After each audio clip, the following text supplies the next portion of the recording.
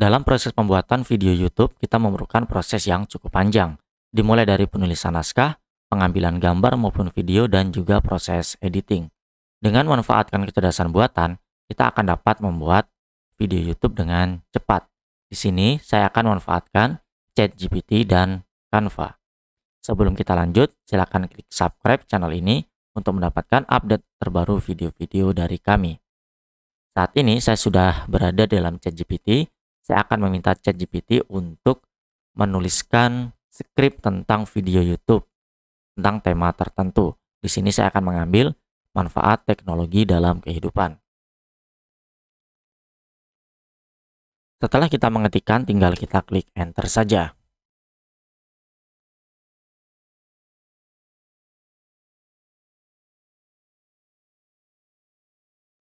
Ini adalah hasil generate dari ChatGPT tentang video YouTube. Dimulai dari intro, lalu ada voice overnya di intro, dan juga diberikan keterangan slide per slide sesuai tema yang kita ketikkan tadi. Sampai di bagian outro atau penutup.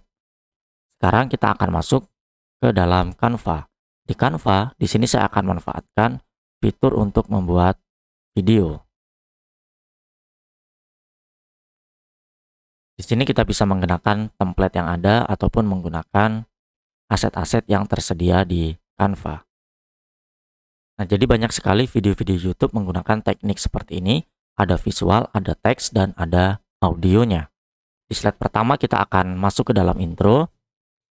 Di sini tentang teknologi. Kita bisa mencari video dengan tema teknologi. Kita pilih salah satu video dan kita atur ke dalam layar kanvas kosong ini. Lalu di sini kita akan menambahkan teks. Saya akan menambahkan teks yang kecil saja seperti ini. Teks ini kita kopikan dari chat GPT. Ini bisa kita atur. Di sini bisa kita atur jenis fontnya, ukurannya, dan tata letaknya. Saya akan meletakkannya di bagian bawah video. Kita di sini bisa memberikan efek yang berlatar belakang agar mudah terbaca seperti ini.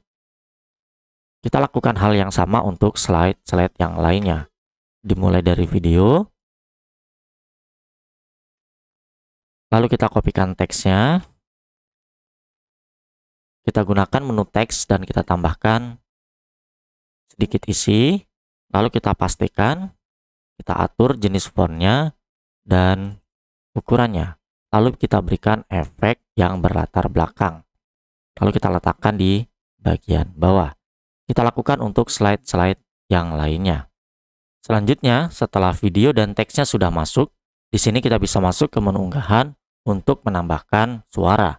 Kita bisa memilih menu rekam diri Anda, lalu pada bagian kamera kita pilih tanpa kamera.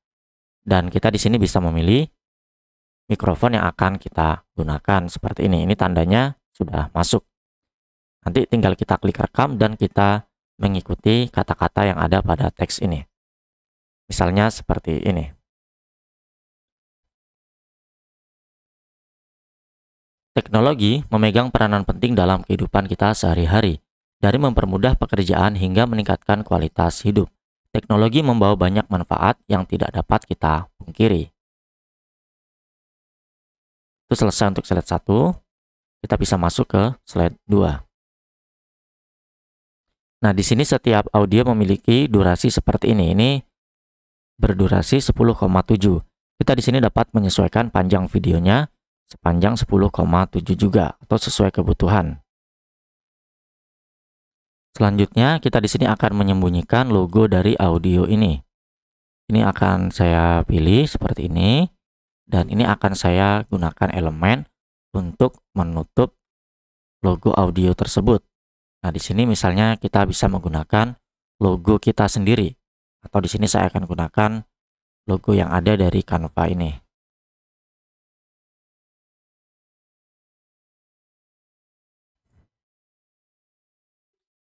Setelah selesai, kita dapat melakukan preview seperti ini.